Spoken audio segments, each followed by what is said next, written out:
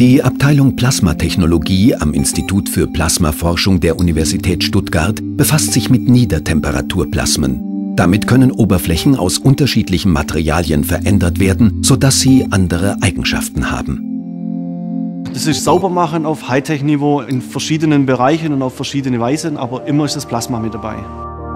Die Zusammenarbeit zwischen dem Institut und dem Steinbeis Europazentrum begann 2004, als das Institut einen Partner für eine Forschungskooperation suchte. Seitdem hat das SEZ dem Institut 42 Technologiegesuche aus 19 Ländern vermittelt.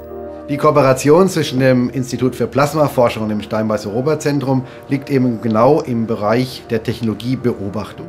Und hier sind wir natürlich aktiv, weil wir auch diese anderen Disziplinen kennen und wissen, wo da vielleicht eine solche Technologie gesucht wird. Und da bringen wir die Partner auch des Institut für Plasmaforschung dann zusammen.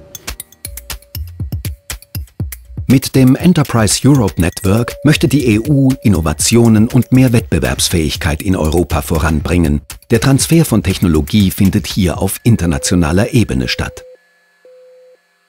Das heißt, wir konnten über das Steinbeis Europazentrum Kontakte bekommen, um mit Industriepartnern dann Lösungen zu finden für die spezifischen Probleme.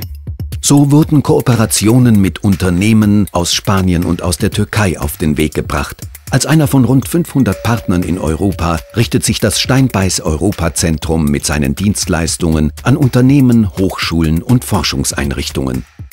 Es ist nach wie vor eine gewisse Mauer, eine gewisse Hürde da, gerade für kleinere Unternehmen, mal an diese Schreibtischschublade des Forschers zu gehen und zu schauen, was liegt denn da drin. Und das ist das, was wir versuchen zu vermitteln.